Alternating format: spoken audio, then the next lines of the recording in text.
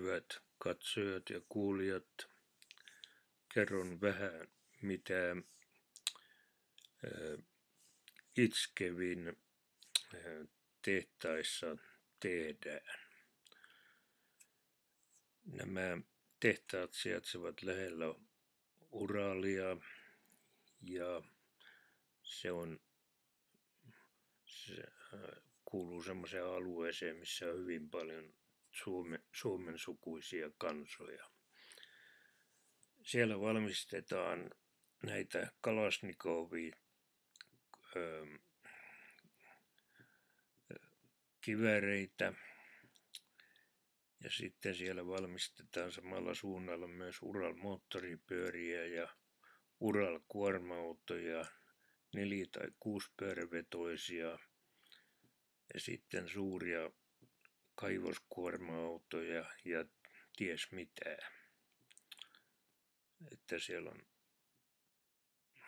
paljon teollisuutta siinä paikkakunnalla. Ja, ja tämä, ellei vaan olisi, se on Venäjän suurimmista asetehtaista, en tiedä tarkkaan, mutta se valmist, Kalasnikovin valmistusmäärät ovat valtavia. Ja se,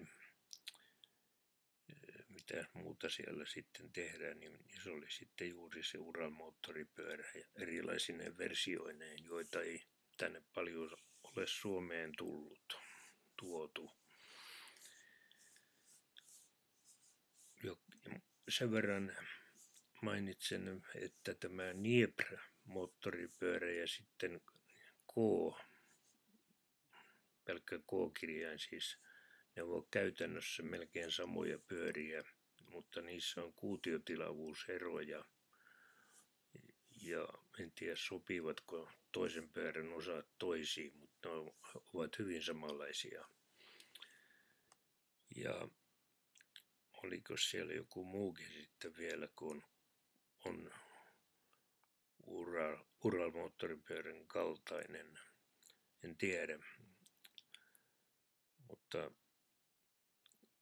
Moskva, Moskva moottoripyörä ei ole, ei ole tämän tyylinen, että se on niin kuin, ei ole kartaanivetoinen tämmöinen bokserimoottori, missä on vaakatasossa sylinterit se on joku muu ja sitten siellä on näitä, näitä, näitä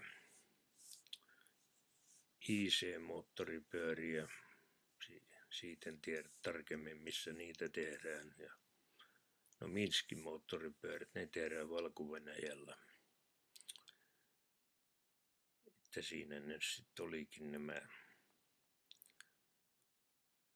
nämä mun tietoni, eipä enempää.